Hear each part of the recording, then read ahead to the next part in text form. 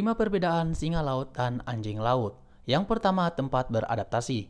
Anjing laut lebih beradaptasi pada kehidupan air daripada darat. Tubuh mereka yang lebih ramping memungkinkan untuk bergerak di air dengan cepat, sementara sirip belakangnya dimiringkan ke belakang untuk mendorong mereka ke depan. Anjing laut bergerak kiku di darat dengan merangkak di atas perut dan menyeret diri mereka ke depan dengan sirip depan. Sedangkan singa laut lebih beradaptasi hidup di darat karena sirip belakangnya berputar ke depan dan berfungsi seperti kaki, sementara anjing laut lebih mengandalkan gerakan seluruh tubuh di dalam air.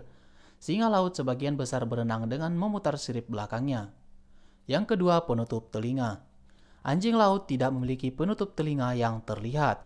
Sebaliknya, mereka memiliki dua lubang di sisi kepala mereka. Baik singa laut dan anjing laut berbulu memiliki penutup luar kecil di kepala mereka. Yang ketiga, ukuran sirip.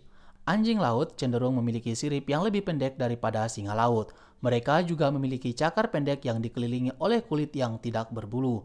Sedangkan singa laut memiliki cakar panjang di sirip depannya dengan jumbai bulu. Yang keempat, perilaku sosial. Singa laut lebih suka berkumpul bersama dengan koloni yang besar sepanjang tahun, sedangkan anjing laut sebaliknya, mereka lebih suka hidup dan berburu sendirian anjing laut akan datang ke darat sekitar setahun sekali untuk kawin. Yang kelima, suara. Anjing laut akan mengeluarkan suara dengkuran yang lembut. Terkadang ditekankan dengan menampar air, tetapi sebaliknya, mereka juga cukup tenang.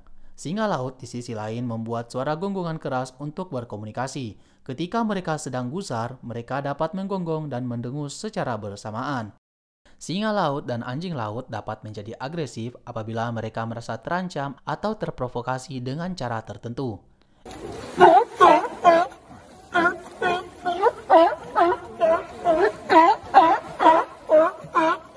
Itulah perbedaan dari singa laut dan anjing laut. Sudah bisa dibedakan kan?